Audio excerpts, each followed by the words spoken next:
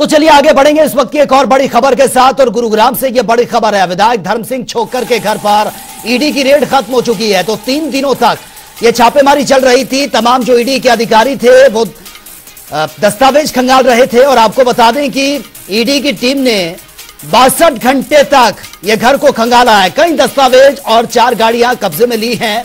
पूछताछ भी की गई है। विधायक धर्म सिंह छोकर के घर पर ईडी की रेड तीन दिन से कंटिन्यू ये चल रही थी जो अब खत्म हो चुकी है और बताया जा रहा है कि कई अहम दस्तावेज़ ईडी ने अपने कब्जे में लिए हैं और जो गाड़ियाँ थी, उनको भी कब्जे में लिया गया है।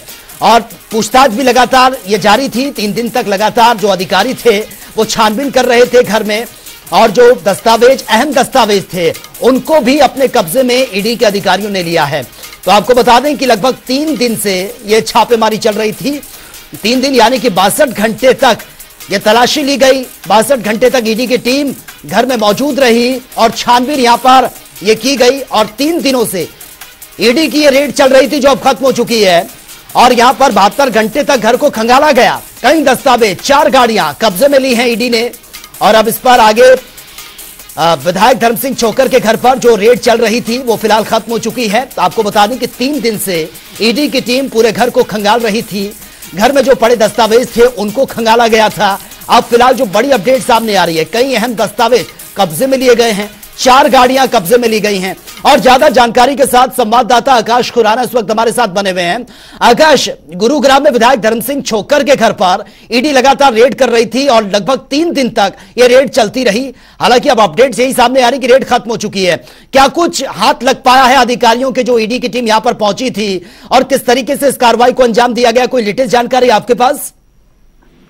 बिल्कुल, तमाम ठिकानों पर कांग्रेस विधायक धर्म सिंह छोकर के घर पर जो है रेड चल रही थी वहीं गुरुग्राम में भी अगर बात करें तो गुरुग्राम में भी पिछले तीन दिन से जो है लगातार ईडी के रेड कर रही थी और वहीं हम्म। बात करें जो चार गाड़ियाँ हैं वो गुरुग्राम से जो कांग्रेस का विधायक का आवास है वहाँ से ईडी ने अपने चार गाड़ियाँ कब्जे में ली है साथ ही साथ कुछ दस्तावेज़ हैं वो ईडी ने अपने कब्जे में ली हैं और लगातार जिस तरीके से जो छह ईडी के अधिकारी थे वो तीन दिन से जो है जाँच पड़ताल कर रहे थे और साथ ही साथ ये बताया जा रहा है कि एक महिला अधिकारी भी जो है जाँच टीम में वो शामिल है और कहीं ना कहीं विधायक के जो घर के परिवार के सदस्य हैं उनके बच्चे वो घर पर ही मौजूद थे और साथ ही साथ जो गुरुग्राम में एक महिला प्रोजेक्ट जो यहाँ पे चल रहा है तो कहीं ना कहीं उसके जो फायर्स हैं वो लगातार जो है इसका विरोध कर रहे हैं क्योंकि ये जो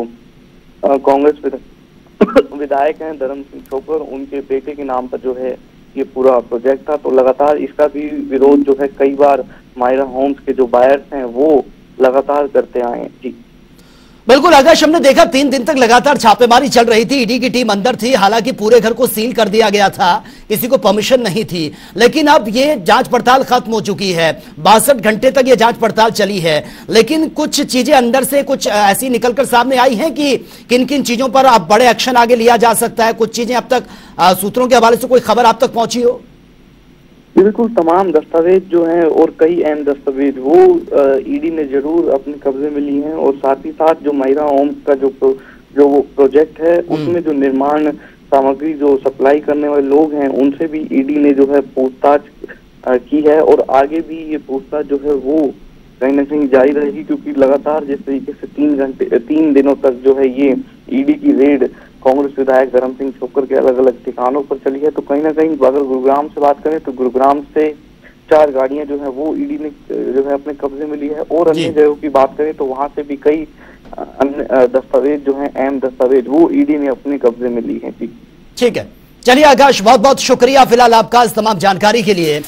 तो तीन दिनों से जो ईडी की जाँच पड़ताल चल रही थी, वो खत्म हो चुकी है। लगभग बहत्तर घंटे तक पूरे घर को खंगाला गया कई दस्तावेज़ और चार गाड़ियाँ भी कब्जे में ली हैं।